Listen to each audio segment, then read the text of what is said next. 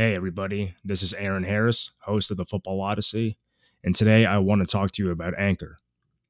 If you haven't heard about Anchor, it's the easiest way to make a podcast. Let me explain. First of all, it's free. And there are creation tools that allow you to record and edit your podcast right from your phone and computer. Anchor will distribute your podcast for you so it can be heard on Spotify, Apple Podcast, and many more. And you can make money from your podcast with no minimum listenership.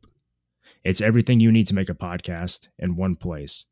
So go and download the free Anchor app or go to Anchor FM to get started. This podcast is part of the Sports History Network, your headquarters for the yesteryear of your favorite sport. You can learn more at sportshistorynetwork.com.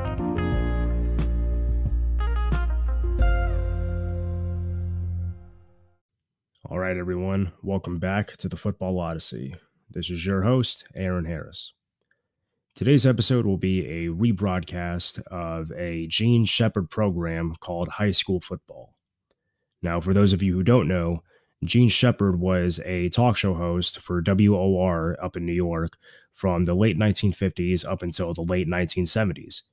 And he wasn't a talk show host as we think of it today, where you talk about a subject, take callers, talk about another subject, and take more callers.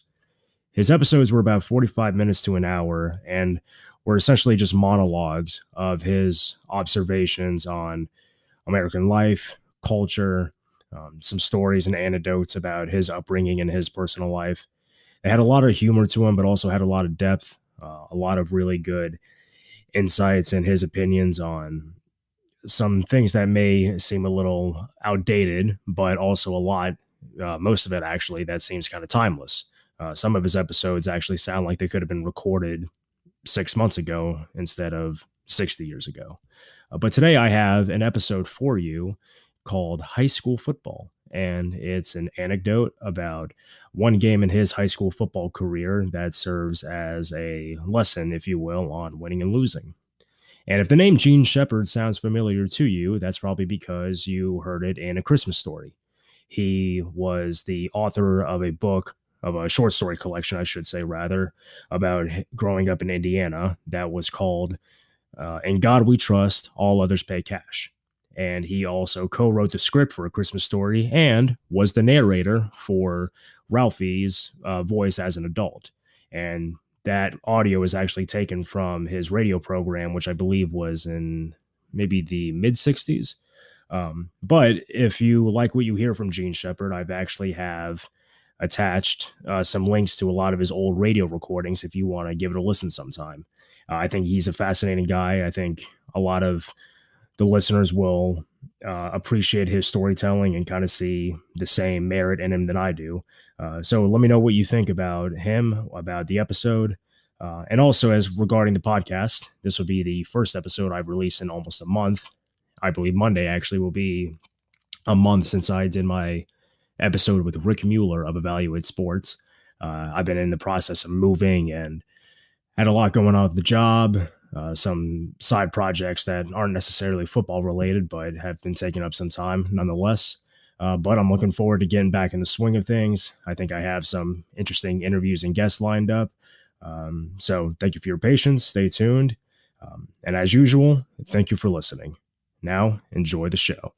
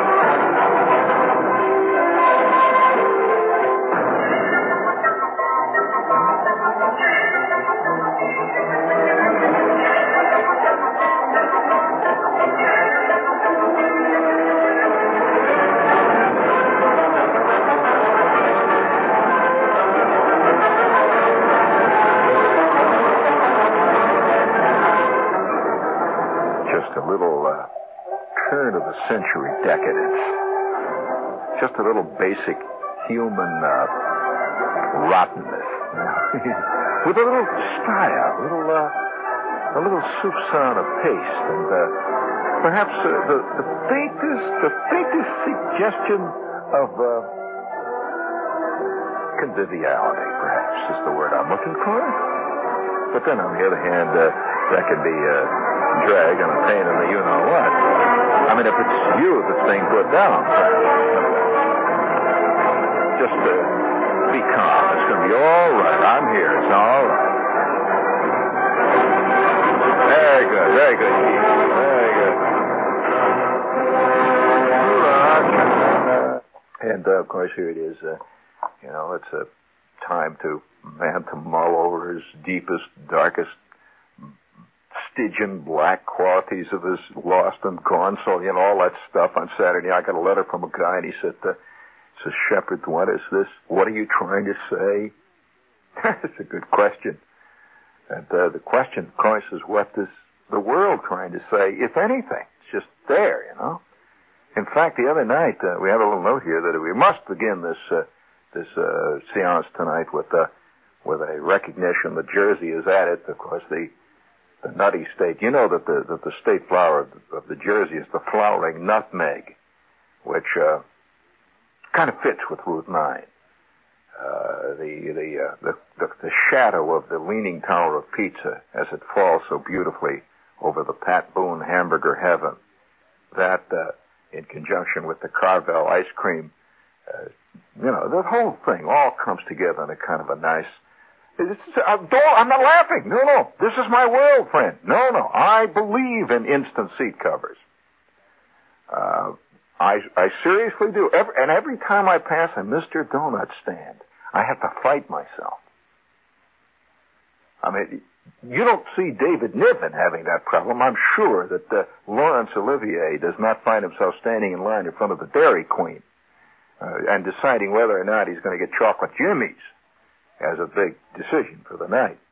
But uh, we would like to salute Jersey tonight. Would you please bring me a little? Uh, that's it. Very good. Ever upward and ever onward.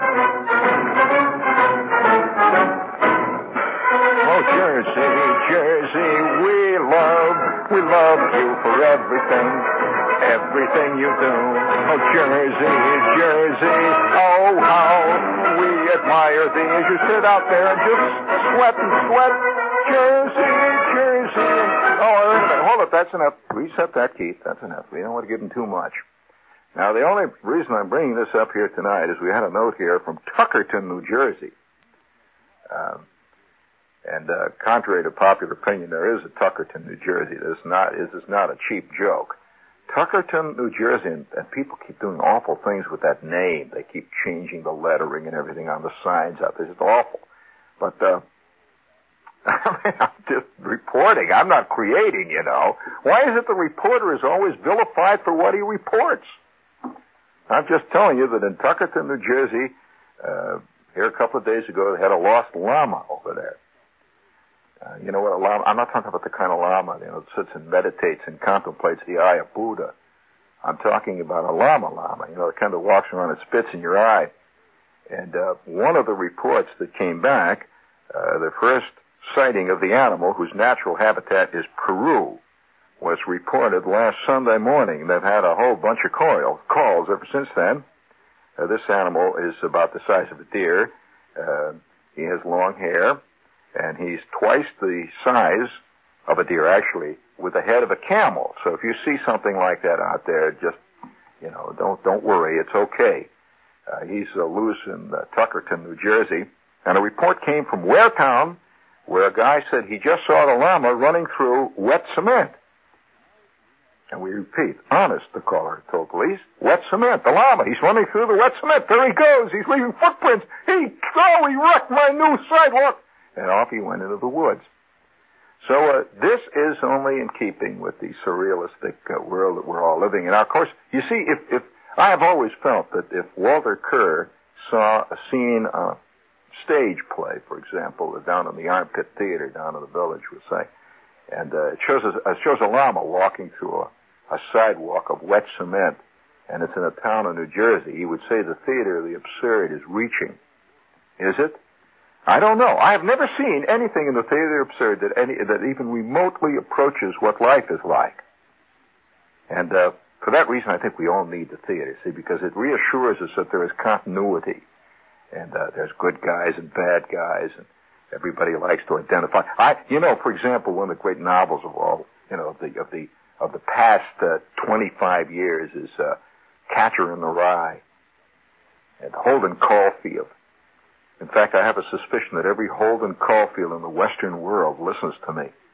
But uh, nevertheless, uh, everybody reading Catcher in the Rye, see, Holden Caulfield is this fantastic phony spotter. See, he walks around spotting phonies. Absolutely, his eye is is is uh, impeccable. He has an eye that never fails to spot a phony from a Oh, from just the slightest twitch of the eyebrow, the phony he knows. Well, now, uh, he's also pure and in spirit. That's one thing you gotta realize about Holden. He's very pure. He's beautiful. And, uh, we have to take his word for it, because he tells us this. He's a very beautiful person, very sensitive. Now, uh, the thing about reading Catcher in the Rye is that everybody identifies with Holden. They never identify with the phonies. Now that's very important. Even if the guy is a phony, sitting there smoking a big fat cigar, and uh, he's saying, "Yes, indeed, of course." Uh, the point being here that we always, this is why we love the theater, because we identify with this. Uh, this is why we love sports. Have you noticed the, the, the current cuckoo-ness now that's going on with the Mets? Listen, I was out at the Mets. I was out at the Mets when the only thing you could identify with was Marv Throneberry trying to run out a drag bunt with all three feet going at once. Now, the point is here, now suddenly everybody's out there. They're flipping, yelling, and hollering. Why? Because the Mets are winning. We identify with winners. We abhor losers. Well, why, why do, even losers, by the way. Nobody hates a loser worse than a loser. That's why the Met fans are out there by the millions cheering for, you know, the winners, because most of them are losers, see. They, they, uh, it takes a certain amount of on-topness, seriously a certain amount of basic inner winningness to appreciate a loser. I'll let that marinate for a minute. That's right. I mean, have you ever seen how cool the Yankee fans are sitting out there? The Yankees are losing because they know deep down inside, even when they lose, they're winners. You know, there are certain kind of losers that are winners even when they lose. Do you agree with that? Oh, you don't know about that? Well, let's put it this way. England has lost an empire, hasn't it? And yet, there is not a country in the world that does not shake inwardly when an Englishman comes over the horizon. Somehow, it's the Home Office. you know? Have you ever seen one English actor get a bad review in America? I sat through an entire play one night over at the Lunt-Fontanne and did not hear three words, and I was in the fourth row. This English actor was so bad he was also bagged to the ears, and he kept falling into the orchestra pit all night. And the next day, the review came out in the Times of Transcendental Theatrical Experience. Last night, it's the old Vic once again. What the hell am I watching? Well, I was watching tradition. I was watching, I was watching what it is, you see. And, uh, you can't beat it. Impossible. So if you guys, you know, all you guys out there that think that uh, by dint of, uh, you know, a couple of laws and getting the right jerseys, you're all of a sudden going to be, you know, you're going to be making it. Forget it. Oh, no. And so this is very important to remember. Now, where did I learn this? Well, what what is the date? Well, I'll tell you what happened to me personally. Uh, I'm sitting around, you know, I'm contemplating uh, my navel as I often do. I got a very nice navel, by the way. I like to look at it. And I'm sitting there contemplating my navel and, and uh, you know, concentrating and mulling over deep thoughts. And, and uh, I, I, once in a while, I like to come up with a concept. There's nothing like a good concept, especially a couple hours before dinner and it can digest and and uh, I bring up concepts once when the air conditioning unit is going and the the papers are blown around in the office and once in a while four or five hundred memos come floating down from the great memo god that comes drifting in. They, they're blue. If you noticed, almost all memos, no matter where you work, are blue. We get these blue ones. They come drifting down. See, and uh, did you know that I know one guy here at the station? I better not tell anybody this, but because you know I know at the station they won't hear this, so it's all right. Uh, no, they're oh no no no. Why, right now our telephone operator is deeply involved in a program on Channel Two. She's sitting there watching that, and uh, and I can assure you, my engineer right now is reading a Lafayette radio catalog, and uh, every salesman who works for the station is sitting in the fantail of his big fat establishment yacht somewhere off uh, one of the Hamptons. So we had this little thing ourselves here. We can talk over this thing without any problems. Well, I know a guy for the last six months who has been handing out executive memos signing the name of a non-existent executive here at WOR. and what's worse, all the other executives are acting on it. so you, you have to pick a, you have to pick a name that, that's conceivably an executive, like C.J. Maston. And then you put a little parenthesis on it, and just say C.J. And then you, you invent a department, you see, a department that sounds official as hell, like, uh, like, uh, oh, uh, something like, uh, surplus goods tabulating. Now, you don't argue with a department like that. Nobody ever goes to it. But boy, it sounds like it's official. Or uh, say, for example, uh, cross-file tabulating. That's a good one. I got one the other day from that department. And it turned out one of the engineers was sending them around. And, uh, and so you, you can stir up a little action that way, you see. Uh, but you always basically remain a loser because what you're doing, you see, it's, it's like, it's like sailing paper airplanes out the window. You ain't flying a jet. That's all there is to it. Now you kid yourself, but you're really not. And so uh, I, I uh, sitting here, you know, looking around at my office, and I see this pile of crud growing higher and higher, and uh, I'm knee deep in memos, and, and I'm sitting here contemplating the bust of Aristotle. And uh, I like to contemplate the bust of Aristotle. He doesn't have much of a bust, but uh, it's the best I can do in the office late at night. There, the steno pool is closed, you know, and I'm sitting there contemplating the bust of Aristotle, and, and uh, it's a kind of a bad looking brass one too, which is what brass bust is nothing, you know. So I'm sitting there contemplating this and playing my Jew's harp. And so I decided to bring to you a uh, a tale. Now, I must, must warn you, if you if you identify with winners, you're in for a bad night tonight. Because I'm going to bring to you a tale of true woe. Now, have you noticed? Have you noticed that the official guys, I, the official guys on television, never refer to their past life? They never do. You you would never know what Johnny Carson did before Johnny Carson became Johnny. Carson. He never tells you about working in the Esso station. Never. Because the minute he lets you know that he did, well then there's all kinds of things begin to happen. Begins to float in other. It's a kind of it's a kind of vague feeling of uh, of distrust. I mean, uh, there but for the grace of a good agent goes I. You don't want to feel that about the people you admire. You don't want to feel that the, you know, you really don't. You don't want to know that God once worked at the A&P. You know, working down there with those little rubber stampers stamping 49 cents on cans of sardines, you don't want to hear that, do you? Of course not. You don't, you, you, you don't want to know that at one time Merv Griffin weighed 267 pounds, which he did, and sang with one of the worst bands in the Midwest, earned his living by whistling the second chorus. No, you don't want to know these things, do you? You don't want to know that the, that the jet pilot who was flying the 707 that you are now riding it. At one time, worked changing tires down at the Shell station and constantly got his fingers stuck in the tires when he tried to take the tire iron out, do you? You don't want to know that. No. No background. That's what we need. We need a world where everybody's past is automatically and instantaneously erased. So that every minute of the day you are reborn a new and pristine individual ready to do battle with this new husk that you have been uh, blessed with. You see, then, by the way, that's the one thing you can't do anything about, is your corporeal you. You can't do anything about the fact that you're three feet nine and weigh 280 pounds. Now, you know, you can do all you want about. So what you do is generally become a, a, a reader, you see, or you become an observer of Joe Namath. You, uh, yeah, the, the, the more impossible you find it to do things yourself, the more you tend to identify with those who can.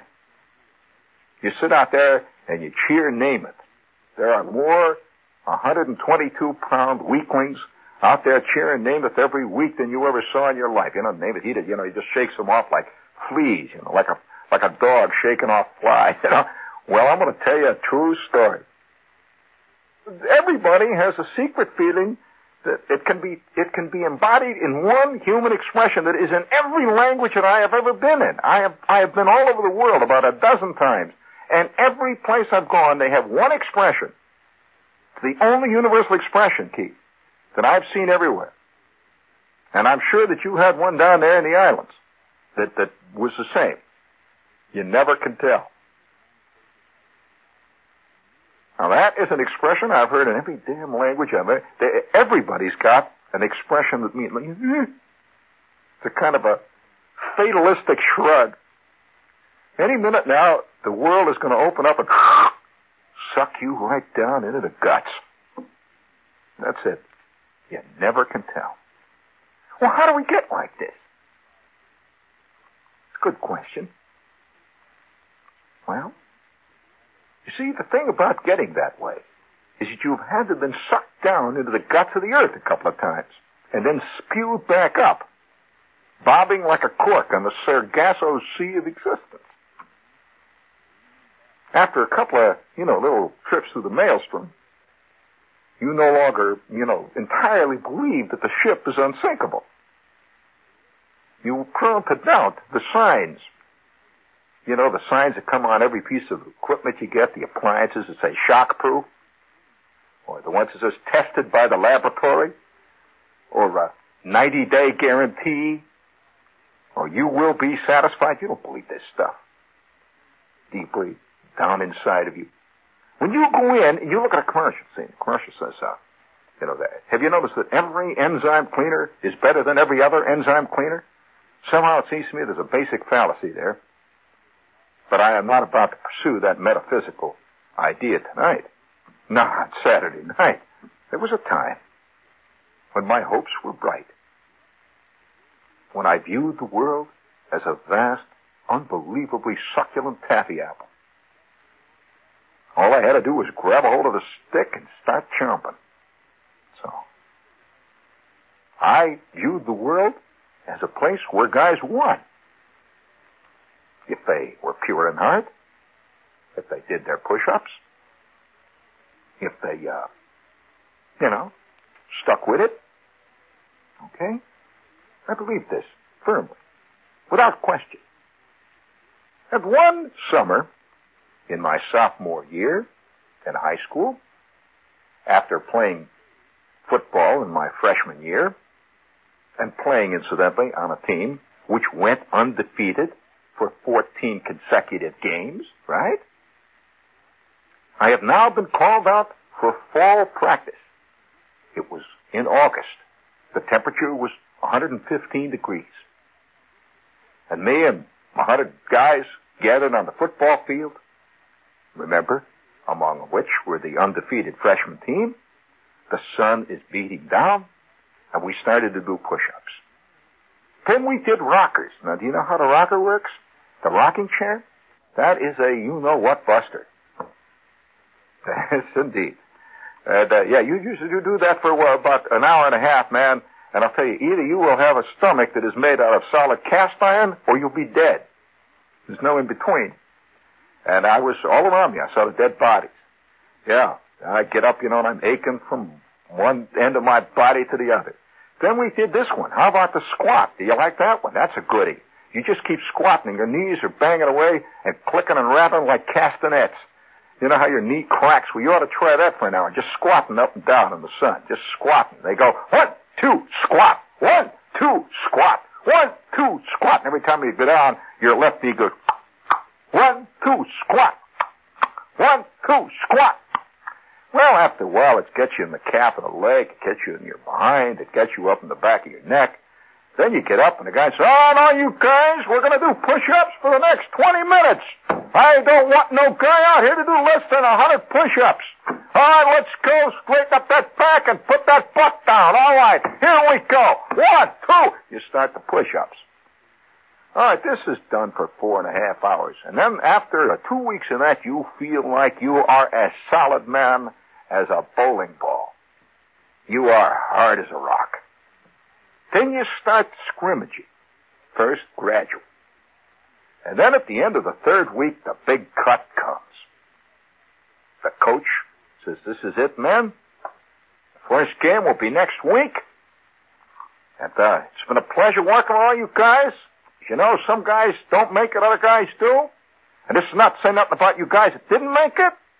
You guys who didn't make it, don't forget that it ain't the whether you win the game, it's well, you know how you play it. You guys were out here, you put out for everything you had. We want to tell you we admire all of you, but please get off the field and let the men play. And so then they hand out the suits. That's a terrible moment after you've busted your you know what's, you know, and you've sweated down, and the next thing you know, you're down the chute, you're discarded. You're down there, you know, with the girls and the guys that are playing in the clarinet section in the band. And now, what is left? All right, 33 Iron Men. Right? Okay, right. And so for that solid week, we scrimmaged against one another, and we were fantastic. We were really great. We would scrimmage on offense. We would scrimmage on defense. And Shepherd is down there, you know, playing, playing on the defensive backfield. It's working groovy, you know.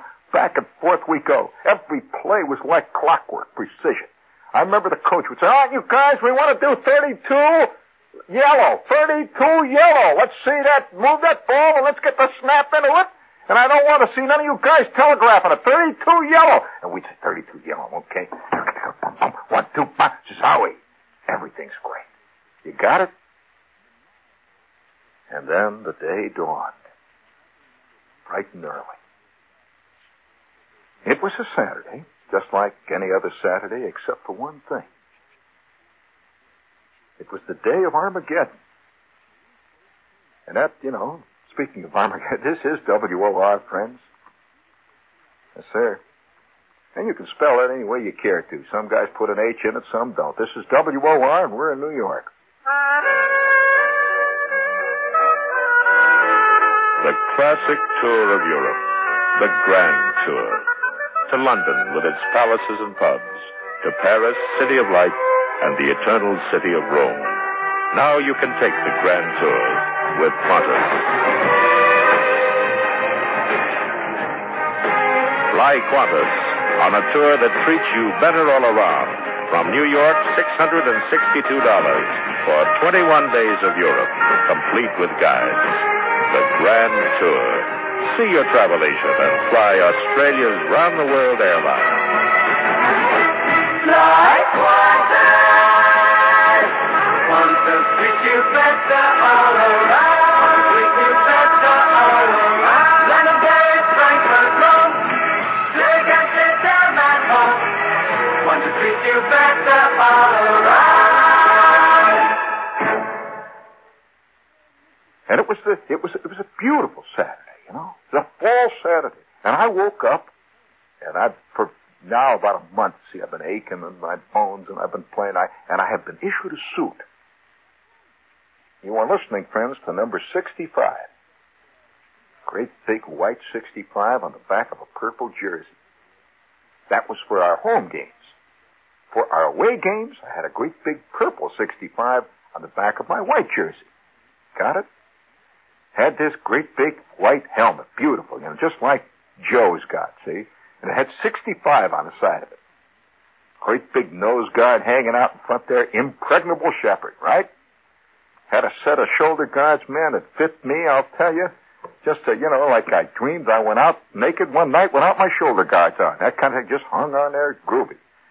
I got a pair of these tight silk pants, you know, the stretch pants so tight, you just touch them and they go thlung. Oh, man. Spike shoes, the works. All right. I woke up about 10 o'clock Saturday, you know, no school today type thing. sun is streaming in. Kind of brisk, little touch in the air, little fall tinge there. You know, the, the, the little fall tinge you've been feeling recently that is making the sap move.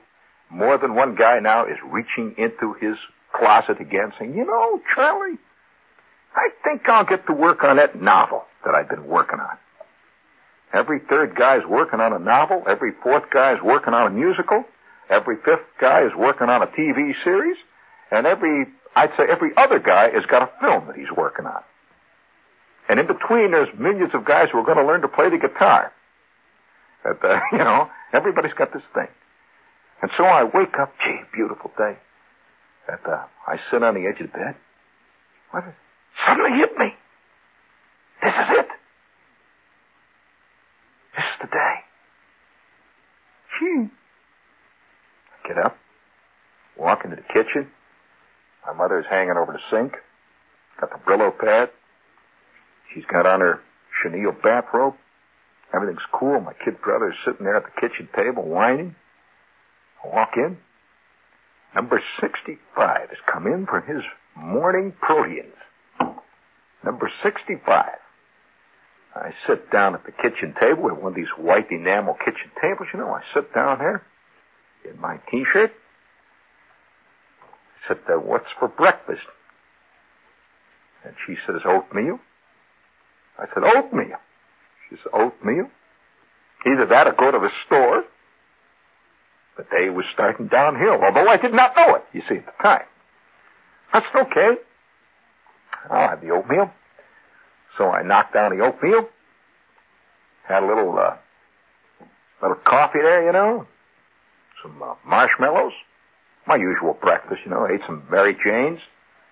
Then went around, walked around the house. And, and uh, you know, feeling my kid brother's following me. Because he was always Bud, see, because I had these shoulder pads. So, uh, I go into the bedroom there and got dressed. And it was the day. Two o'clock that afternoon, I am on my way to the school. It is the day of our first game. The first day on the varsity. You hear that? Exciting moment. You never hear athletes talk about it. This is exactly the way you get all excited, see? So I'm on the bus, go down to school. Now the game was not until seven o'clock that night, friends. So I gathered down here. We went down to the gym. We had been instructed to get down there about two o'clock and do a little, you know, do a little skull work, a little uh, chalk work, and a little stuff like that. So we gather in the gym in our, you know, just wearing our t-shirts, stuff like that. Guys wearing nothing but uh, jockey shorts and stuff. We sit around, and a coach is up there at the at the big blackboard that came down out of the ceiling. So he's walking around. He's got the lights on. He's got a pointer. All right, you guys. It's the day now. I want one thing for you guys to remember. You're winners. You're winners. That's all you gotta know in this game. You're winners. You're playing a ball club that last year won three games out of twelve. Now, on the other hand, I don't want any of you guys to sit down and figure you're just gonna run over these guys, right? Right. Keep it in mind, you are a winner. Now, and by the way, this coach had been a three-time All-American, so he knew what he was talking about. He was a winner. Now, let us say now that we are receiving a kickoff. Now I want you to watch this diagram, and I want to, I'm going to ask you some questions. Now we are receiving a kickoff. The ball player that is kicking off, we all know him. His name is Johnny Huska. Johnny Huska been playing on the Washington Oilers now for two years. He ain't never kicked the ball over 30 yards in his life. We've been watching Johnny. He is kicking off. All right, now the chances are that the first or the second line of kickoff returners is going to get that ball. This is not going to be for the safety men, right? Okay, now. The ball is kicked now down the right sidelines. They are moving up towards you. Who is going to cover the ball carrier? Which ones? Now put your hands up. Right. Okay, now we're underway. Now, let us say we now got the ball on the 48 yard line. We have returned the ball to the 48 yard line. Okay, now this is the first play of the game. What are we going to do the first play of the game? Okay, now papers tell us. This is our quarterback, our ace quarterback. And the big hung jaw, you know, later on went to Alabama. All right, Papers, what are you going to do in that first play? Uh, gonna call 32 yellow. All right, 32 yellow. That's right. Now we got the ball down on the 50. We've met past the midstream line. We're now on the 45 yard line of the other team, right? Now, what do we call the second play now? We know, who, who are we playing? Now, think we're playing. What kind of a pass defense have they got now, Papers? Uh, 44 green. Right.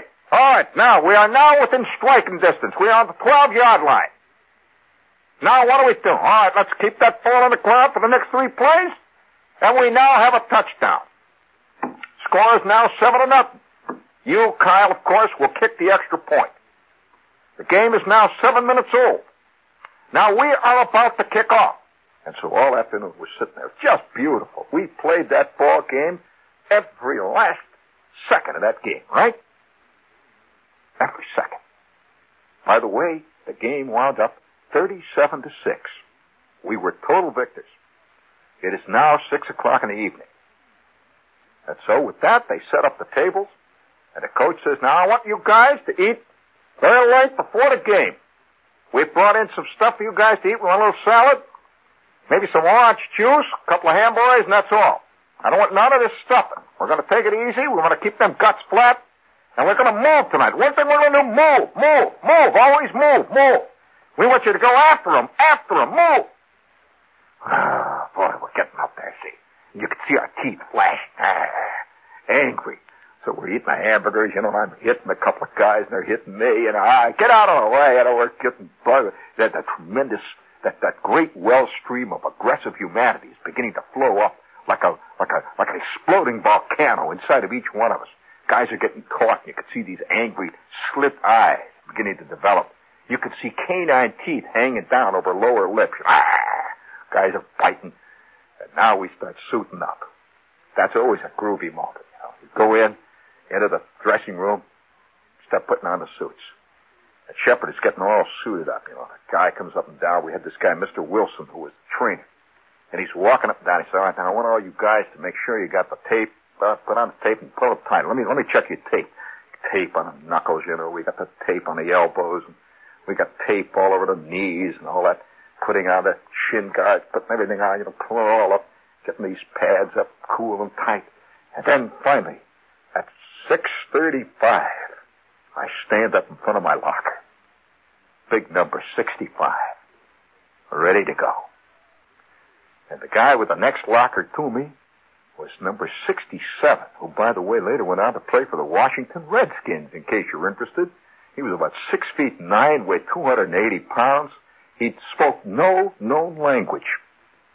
He was totally inchoate. That's right. All we knew is that his name was Al. Big Al. Uh-huh. And Al would get up there, and he just breathed all the time. And he breathed through his mouth.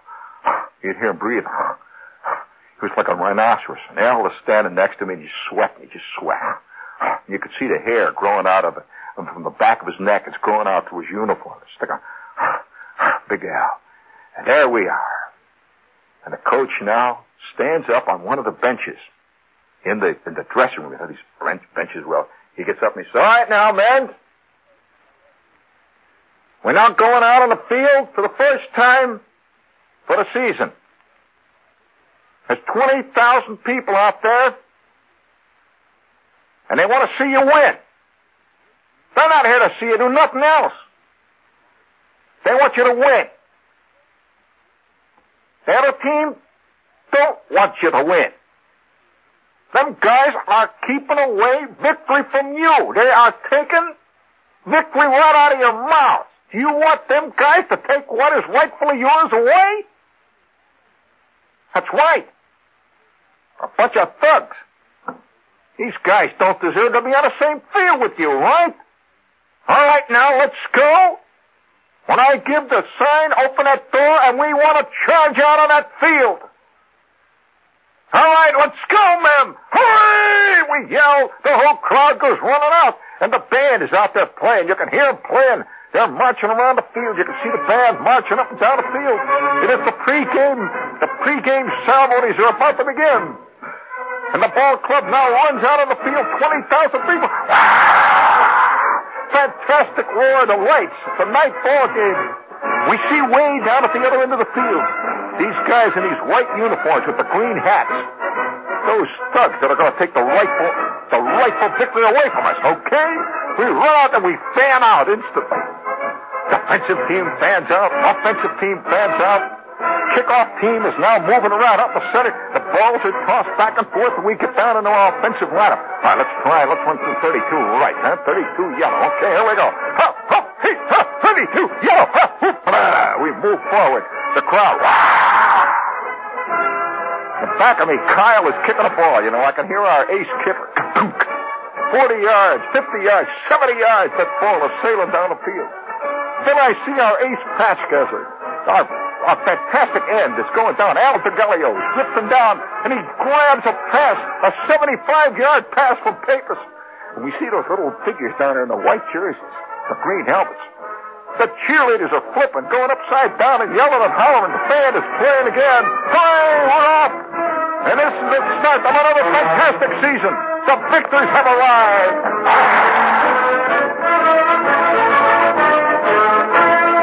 It's a little like uh, Napoleon and his marshals arriving before the gates of Moscow with the bands playing.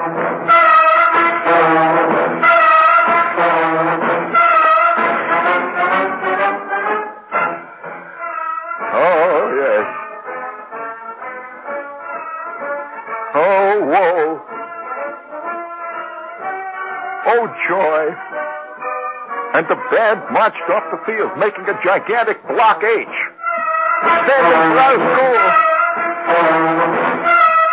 The silver batons flashed high in the, in the starlight. You could see all those little cheerleader chicks flying up and down, their little old bottoms are bouncing up in the air.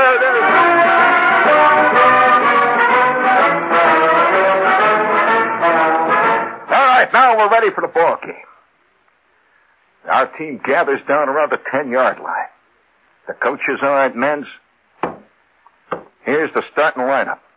And he reads the lineup. In case we receive, here is the starting lineup for receiving a kickoff. He reads the lineup. Here is the starting lineup in case we are kicking off. He reads that lineup. All right, men, let's get ready to play ball. And here we go. Ah! We give another yell. We all grab our hands. You know that bit where everybody grabs the hands? And we go running towards the bench. And we see the captain of our ball club and one of the big tackles from last year. They're out there at the 50 yard line. And now they are flipping for the, for the kickoff return or the kickoff kickoff. The coin goes into the air. Drops down into the ground. I see the referee go down on his knees looking for it. They can't find the dime. It's down in the grass. They crawl around. A little bit of argument. And then one of the trainers runs out and gives him another dime. They flip the dime up. Little did we realize this was an omen. That dime, by the way, belonged to our coach. It was his lucky dime. They flip the dime up. and then, then I see the signal. The other captain has got the kickoff. He has won the he has won the toss, and they have elected to kick off. Completely confounding us. He points down like, cause they had a win, see? He points down like that. They trot down. That means I'm out on the ball field. And so Shepherd trots out into the second line of receivers, you know, looking around. First big game. The varsity. I look back and I could see papers. I see a couple of other guys stretching, moving, you know, back and forth we go. And I could see that line of, that line of kickers down there, that line of the kickoff team moving into position down there. I see that big kickoff man, that Johnny Ruska. He's about 19 feet tall, big, heavy set guy, you know. All he does is kick. We know he don't kick no more than 30 yards at a shot, you know. But he hit, he used to kick these hard, bouncing ground balls that would come slithering. They were built for, for picking up, you know. He moves back. You can see the big pieces of tape that he's got on his knuckles. He moves back, he spits. And somewhere off in the somewhere off in the distance, the band began to play. See, the pep song. You could hear them playing softly. See, here it goes.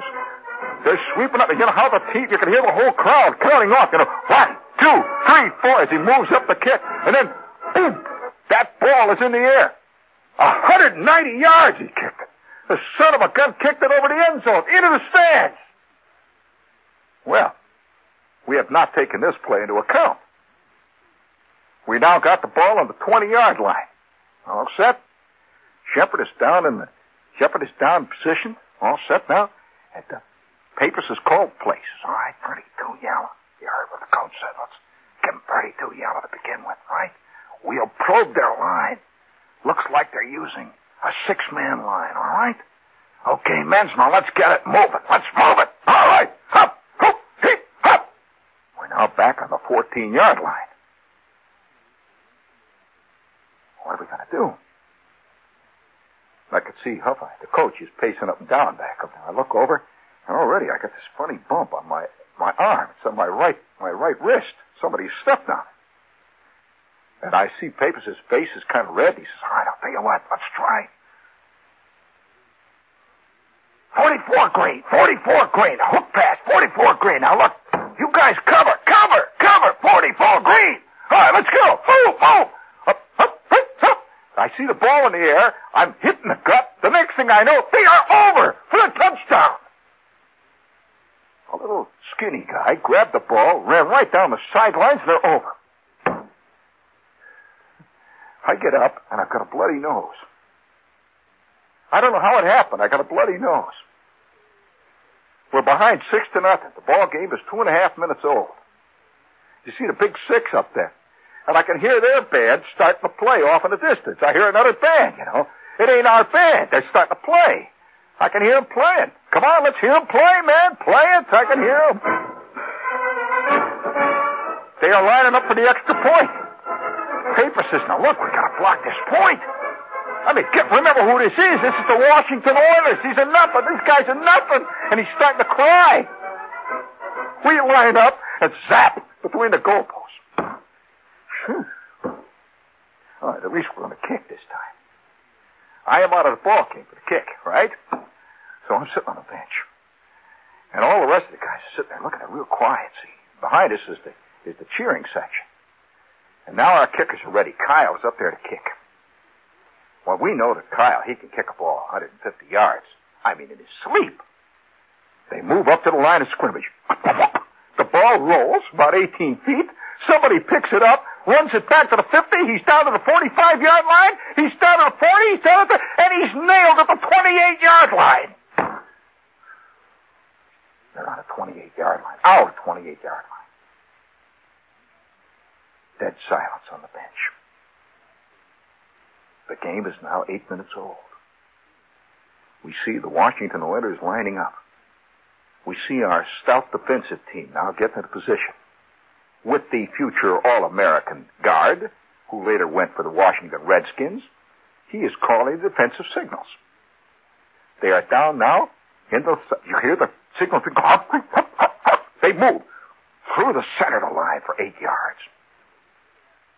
They're now down at the 20 yard line. Well, I don't have to tell you. At the end of the first quarter, the score was 17 to nothing. At the end of the half, the score was 26 to 2. We scored a safety. Shepherd goes in at the beginning of the third period, waiting for the kickoff. The band is playing again. They are lining up. Zap! I see that ball going up in the air. I lose it in the lights. All of a sudden, somebody next to me hollers, grab it, grab it, it's coming down. I look around, coming down. What do you mean, coming down? I see it come out the last second. I see it coming out of the lights. I make a grab for it. It hits me on the chest. It goes up in the air again. I grab it again. I start to move forward, and 17 guys hit me. Pow! That was the end of the quarter for me. Well, the third quarter went even worse. We were trailing 49 to 2 at the end of the third quarter, and it was obvious what was happening.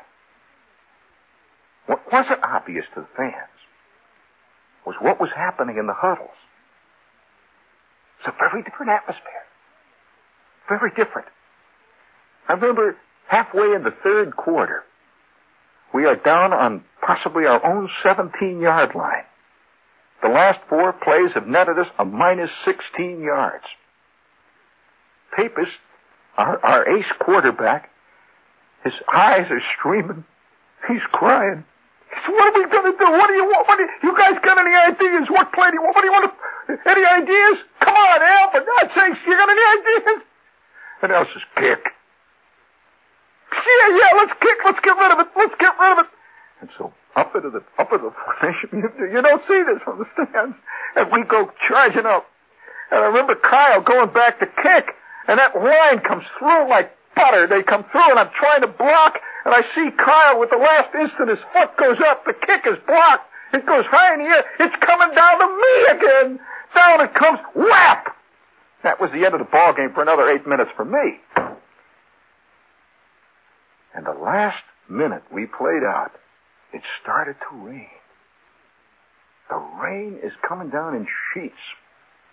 The score is 63 to 9. The rain is pouring down in sheets, and the band started to play. By now, three quarters of the fans have left. You could see them just streaming out of the stadium.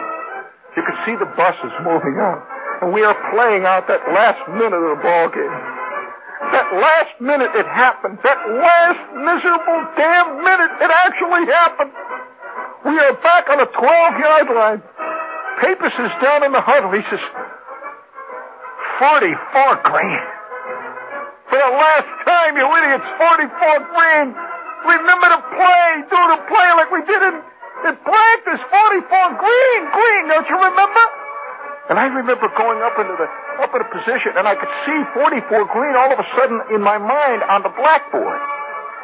I could see it 4-4-G, and I could see all the little lines, and the red arrows and the blue arrows and the yellow arrows, and mine one, my little line, which was a purple arrow. I saw my purple arrow, see? So I saw 44 green. I'm down in the line. Up, up, three, four, four, green, two. The ball is next. The play was unbelievable. Like clockwork. We scored from the 12 yard line. Zap! And the Washington Oilers stood for a second, just looked. We scored from the 12 yard line. As we trotted up the kick for that extra point, Paper said, We booted it. We could have done that all night, you idiots. We booted it. We booted it. With that, Kyle kicked the extra point. And the gun went off. The ball game was over. We lost the first game 63, friends. I repeat, 63. I ask you to think of the score to 15. This was the ball club that we had beaten the year before, 49 to nothing. And in the rain, we trotted back into the dressing room. The rain is coming down. Oh, it's coming down so hard. My uniform is soaked and torn, and I had a cut on my my wrist, which incidentally I still bear the scar from. I have a lump under one eye. I have a rib which still hurts me sometimes when I wake up at three o'clock in the morning, where a guard caught me with his knee. And we trooped into the dressing room. I remember the coach not saying anything. Doesn't say anything. He's got a clipboard. He's sitting at his desk. We come trooping in. We sit down, every one of us. I open my locker. My uniform is all dirty and cruddy. That beautiful brand new number 65, which I was so proud of. And Big Al was sitting next to me. I mean, as much as he ever sat. Al sort of squatted, you know, sitting next to me. He was. Al, by the way, was the only one that played football that night. Al, who was, was a one-man line. Al, who had made something like 74 tackles. Al, who had blocked three kicks, intercepted two passes, Later, a star for the Washington Redskins. He just sat there with those two little BBs that he used for eyes, those two little red BBs. He didn't care whether we won or lost. He hit a lot of guys, that's all.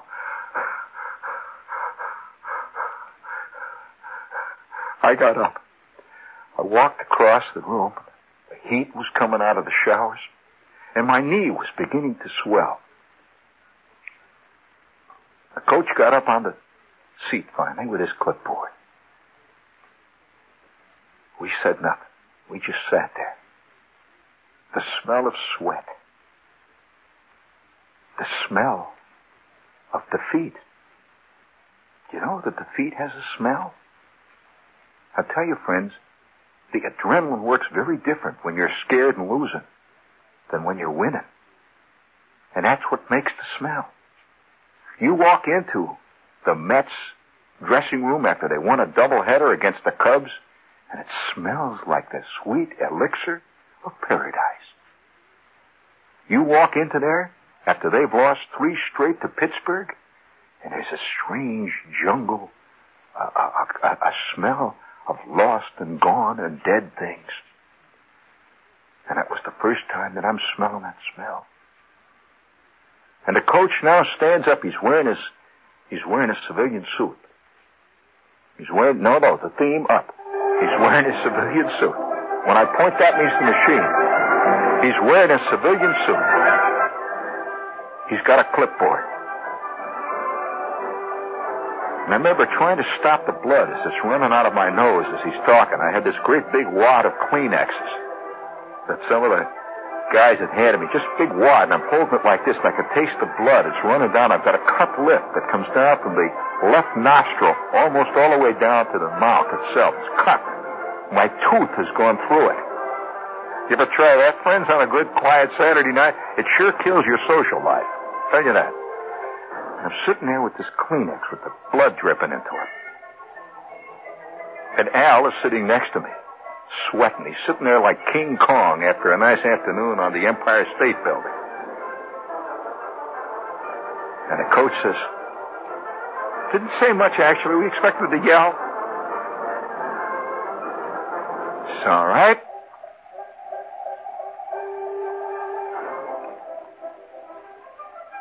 You did it. You did it, right? He holds up the clipboard. So I have here in his clipboard every last mistake what you made tonight. You notice I ain't got no more room for paper? I'm going to thin this clipboard out. I'm to tell you another thing. If we pull this again next week, we're going to have a lot of new guys sitting in this dressing room. The next week, we lost 49 to 12.